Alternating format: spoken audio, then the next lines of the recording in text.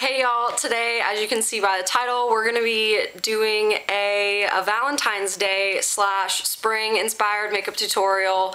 Um, as you can already tell I've got my base on already pretty much so um, before I move into the tutorial part and I guess the get ready with me part. Um, I'm just going to show you guys what I've already used to get to this point so far and then we'll just we'll continue on with the video. So for my base or my primer I'm using the Dr. Brandt Pores No More Pore Refiner Primer. It's one of my favorites um, at least at the moment. I've used it you know for I think a couple months now and I've really enjoyed it. I've used quite a bit of it, you can't really tell, but I really enjoy this one, so it's a nice matte base. So that's what I used on my face today.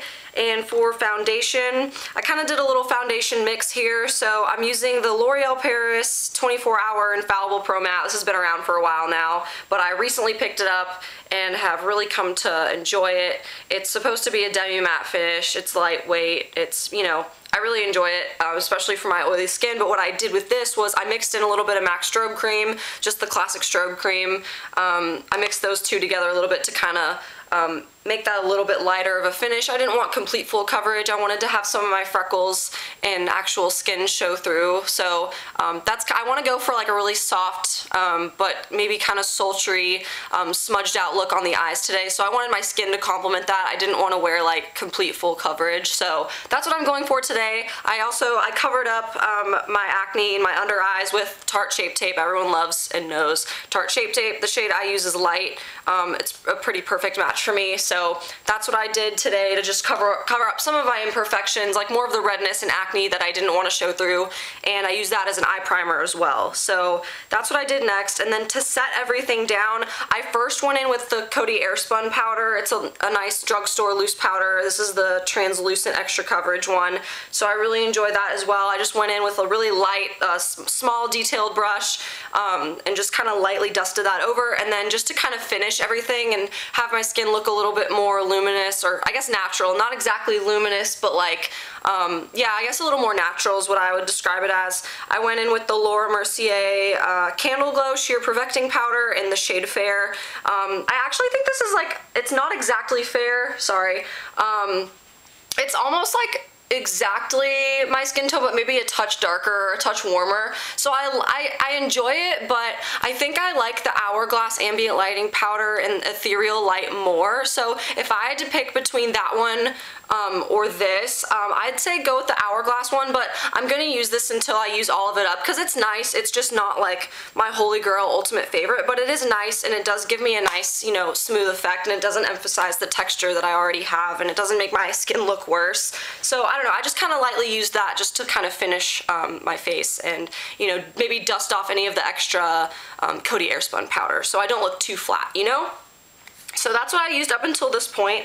And then, oh, I actually forgot. I did um, comb through my brows and I set them with the Essence um, Lash and Brow Gel Mascara. It's just a clear, you know, really affordable um, uh, what's it called, uh, brow gel. So it's just a clear brow gel. I didn't want to put anything in my brows today. I don't know. I was just kind of feeling like, you know, I guess more natural, um, but I wanted them to look groomed and like in place. So I did, you know, comb through them with that gel and I think they look okay. I have pretty naturally good brows, so I'm, I'm not feeling too bad about that today. Okay, so after all that, that's the skin up until this point.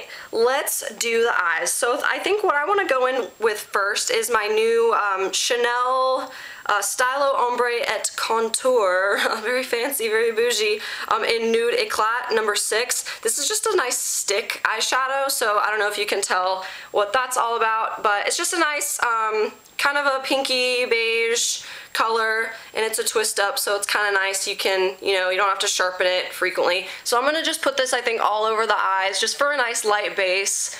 I know I already went in with my concealer but I kind of wanted to you know add a little bit of color, but it kind of just blends in really nice with my skin tone and it glides on really smooth and I'm just to blend this out with my finger um, just a little bit just so it kind of blends in and dries down a little bit but you can't even hardly see it but I think it just nice it adds a nice like really soft sheen um, you could wear these on its own they have several other colors um, at um, I think you can get them at Nordstrom you can get them at some Ulta locations depending on where you live. Not every Ulta has them, but yeah, I'm just kind of blending that out with my fingers just softly. I don't want to have like too much of a strong like opaque base. So that's what that is. That's what that looks like.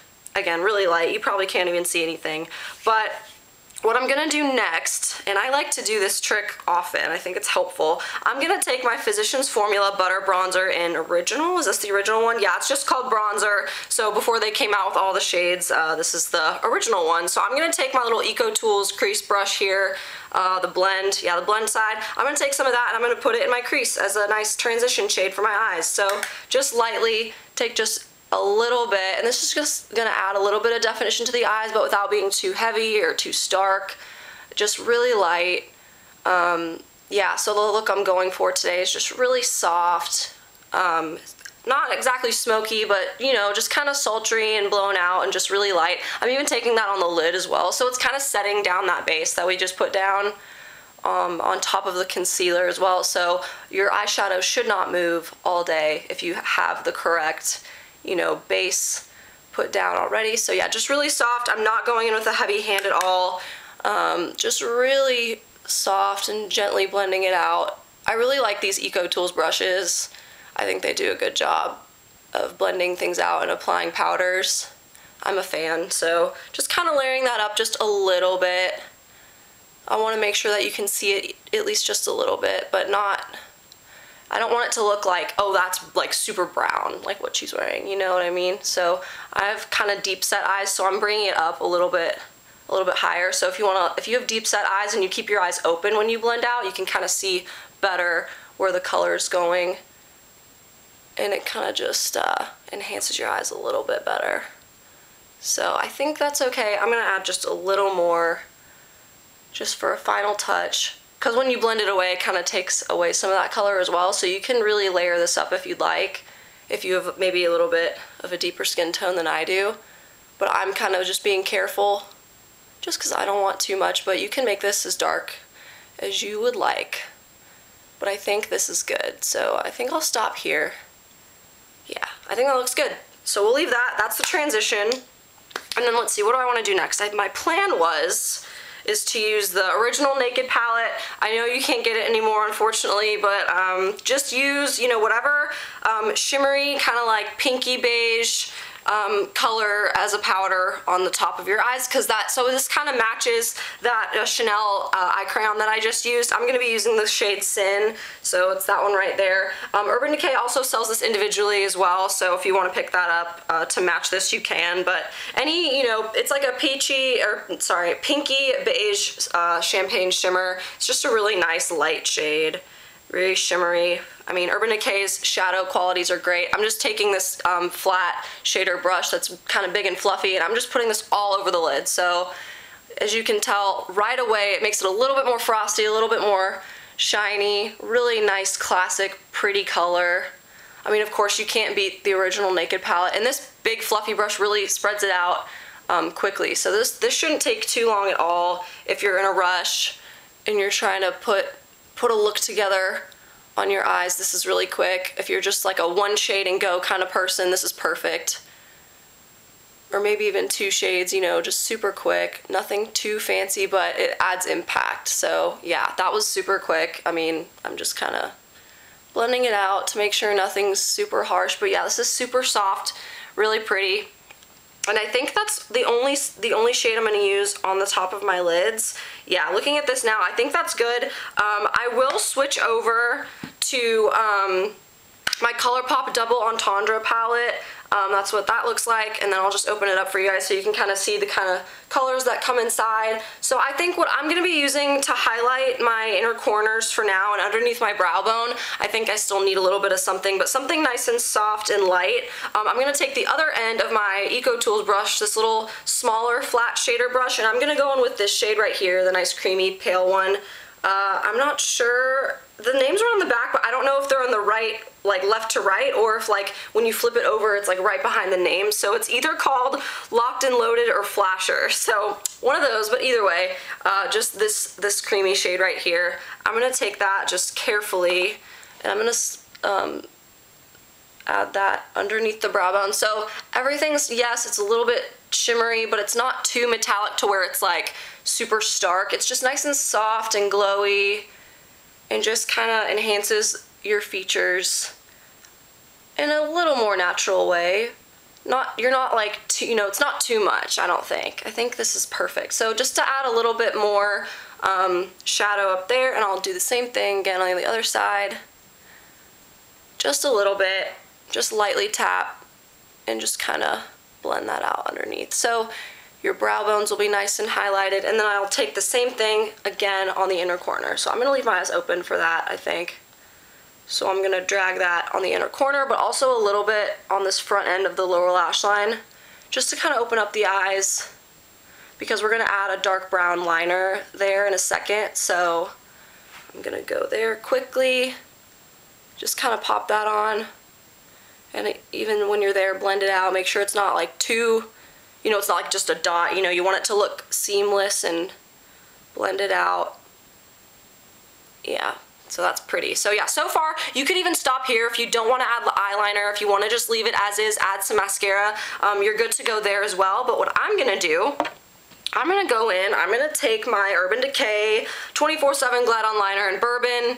Everyone loves Urban Decay eyeshadows. I'm a huge fan of them. I have several colors. Some of them, unfortunately, can't even get anymore. But I'm gonna take this on the tight line, so on my upper lash line and as well as my lower lash line, and then I might take that brush that we just used and kind of smoke it out a little bit. But what I love about having a brown liner and using the same technique you would to tight line with the black is that, you know, it's a little bit softer. It especially looks good with if you have lighter colored eyes, I think. It's a little less stark, but it's still, you know, you've had that impact. Your lashes look really thick and um, luscious. So I'm just gonna, I'll show you guys what the end result looks like. And this is like a nice dark brown, but it's also got some sparkle in it too, which is, which I think is really nice for Valentine's Day. So your eyes kind of sparkle and they shine and they stand out. So be careful when you're doing this. Take your time, don't go too fast. I probably shouldn't be talking, so I'm just gonna not for a second and then just kind of carefully, carefully, carefully. I think I'm just gonna stop at like the inner half. I'm not gonna go like all the way around. I'm just gonna kind of take that on the inner half carefully. Don't press too hard. With these eyeliners, the good thing about these in particular is they're really soft too and smudgy, so you don't have to worry too, too much about hurting yourself. But yeah, be careful. Oops, I got a little bit up there, so I'm gonna blend that out a little. Actually, you know what? Since I already made that mistake, I'll just add a little bit, just a little bit on the outer corner up here and we'll blend that out in a second. So I'll do the same thing on the other side since I messed up. That's okay. So that'll add a little bit to your lashes and make them look a little more um, a little more thick. So I'll take the same brush that we just used, the little tiny flat side of the Eco Tools brush, and I'll just smudge that out just a little bit so that's kind of nice. So it's, you know, this is a good tip if you don't want to use black, but if you still want to add like a little bit of emphasis and define your eyes a little bit, it's a good, it's a good little tip. Use brown instead of black, or you could go in with like a light gray. Um, that would look nice if you have different colored eyes as well as me. Like if you have really dark eyes, I'd like a light gray or like a light silver, that'd be really cool. So that's the top, same thing on the bottom. Just carefully, don't, don't tug your eye too much, but I just kind of gently pull it down and get the water line. And on this one, I'm gonna kind of go closer to my tear duct, so I'm gonna drag that all the way in. I think that makes it a little bit more sultry. So yeah, just quickly. And if you're not talking like me, you can get this done super quick. There we go. And it's okay if you're a little messy with it. You don't have to be perfect. But same thing again, I'm going to take that small little smudger brush and just kind of gently just run it over a little bit. Run the brush over the liner just at the lash line. You don't have to dig into the waterline, just kind of gently, just so it doesn't, excuse me, just so it doesn't look too, you know, too harsh. There we go. It's starting to look a little bit more like it's coming together, I think yeah, make sure it doesn't collect. Uh, my, my eyes just water so much that every time I put eyeliner on, no matter what it is, it like collects in my outer corner. But okay, I think that looks a little better now. So yeah, so this is what we have so far. I'm a fan. Um, and I think, actually, you know what I think I'm missing? I'm missing something on the lower lash line to blend that out. So, I'm, again, I'm just going to take the same old little shader brush that we just used. I'm going to go in with our bronzer again. And I'm just going to just, like, gently have that lower lash transition. That's what I was missing. I was, as I was looking at it, I was like, that actually doesn't look as complete as I thought. So, just barely smudge that out. Yeah, I like that a lot more now. So it also keeps the sparkle like really close to the eyes and it just kind of gently, you know, fades out because the bronzer isn't sparkly at all. Oh my gosh, the light is going away. I'm so sorry. Nothing I can do. Okay, and I'll just take whatever's left over and I guess run that along the top just a little bit, you know. Because why not? Nice soft and blended. Make sure my eyes aren't watering. Okay, I think that looks good. All right. So let's move on. Before I go in with mascara, I think I'm gonna do this. I'm gonna start, I'm gonna go back to the face. Um, and then I'll do mascara last just so we can like finish with the eyes and see it all come together. But for now, let's go to the face. So one other trick that I really like to do, if you want your blush to last like all day, super long, like super long wear. Um, one tip I like to do is I like to take a lipstick. So if you don't have any cream blushes, just use a lipstick and you can use them as a cream blush. Um, I'm gonna take MAC Little Buddha. This is a cream sheen lipstick and I know it looks intimidating now, but it's a super, like, it like matches my shirt. Well, mm, no, my shirt's a little more pink. This, I guess, is like a, maybe a corally pink, but it's really pretty. I like using this on my cheeks, and so I'm just gonna dot this just a little bit like that and then just kind of quickly blend it out with your finger. I know it's gonna look crazy now, but when you think about it, blush is one of the first things to fade on you in your skin. And we're gonna do this before bronzer too. So hopefully when we put the bronzer on top, it'll kind of blend it out a little more. But you're just gonna just gently pat on your skin. Oh my gosh, I love, I love the way that looks.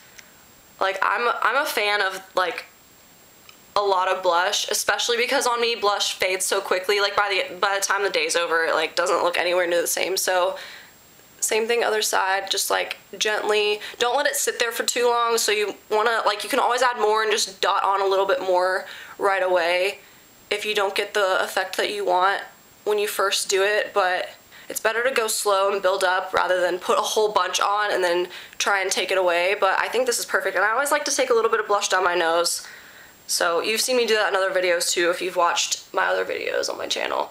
But yeah, I think that looks really good. So for now, we're gonna we're gonna keep it like that.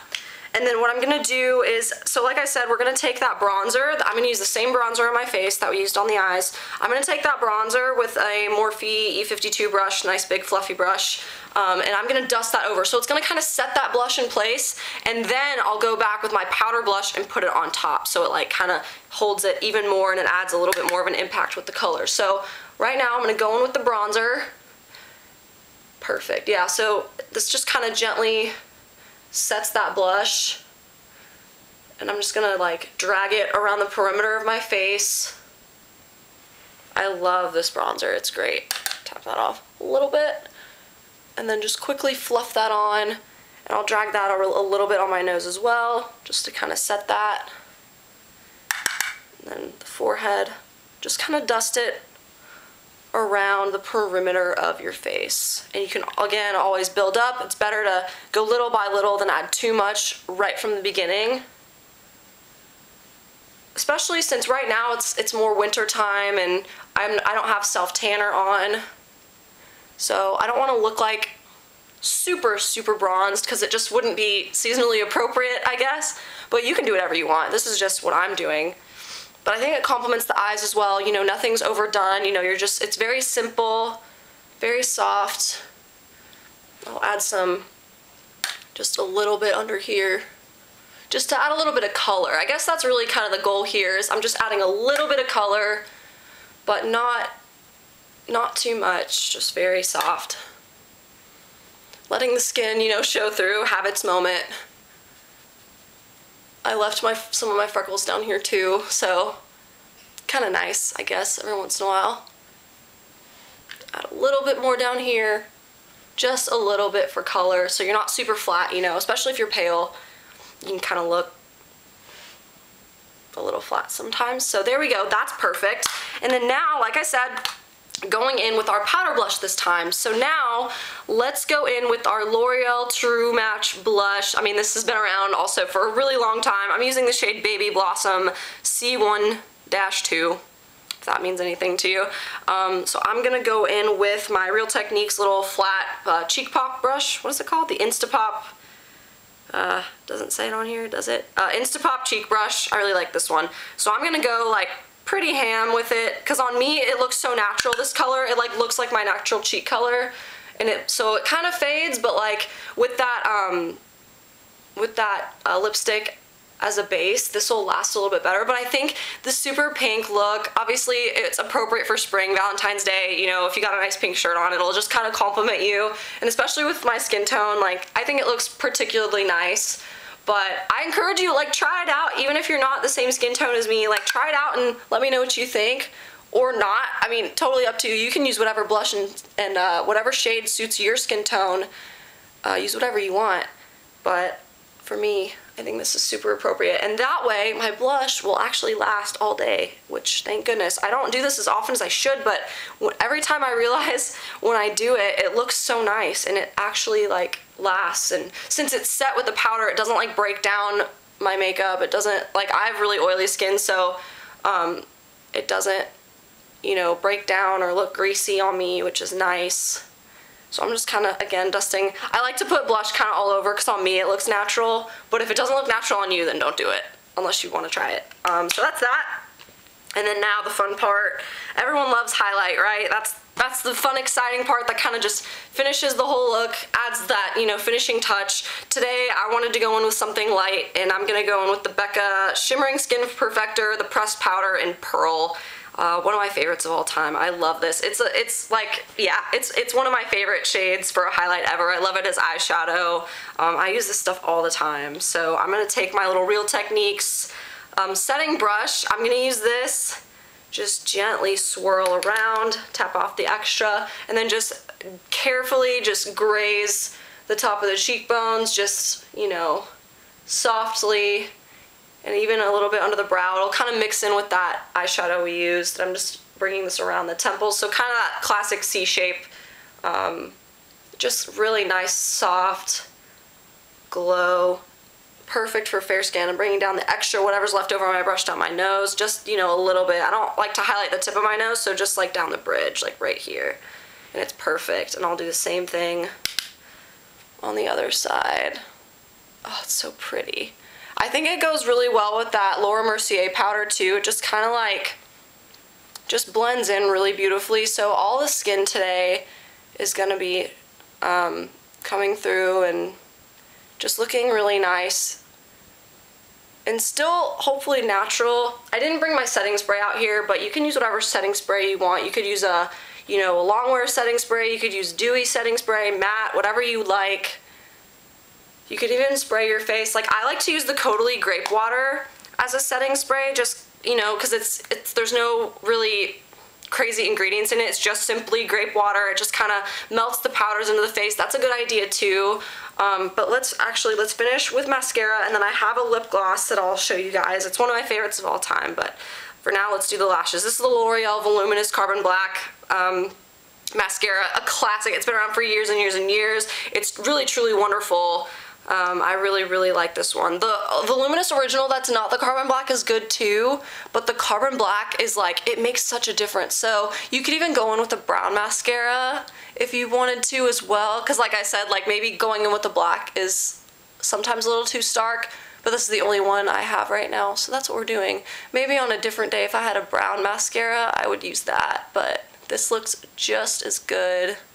You could even go in with false lashes if you wanted to, but that also adds to the time factor as well. So if you just want like a quick, soft makeup look, I think this one is really appropriate. And even, you know, if it's not Valentine's Day and you're watching this, and if it's not spring, I think this is just a nice, appropriate, you know, daytime, you know, work appropriate, school appropriate kind of look with a few of those, you know, the tip of, you know, making your blush last longer so you don't have to touch up.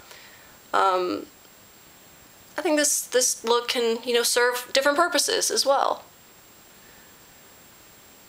So that's good. And then I'll add, a little bit on the lower lash as well. I don't like leaving my lower lashes blank.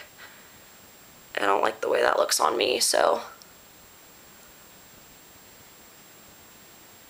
There we go, just a little bit.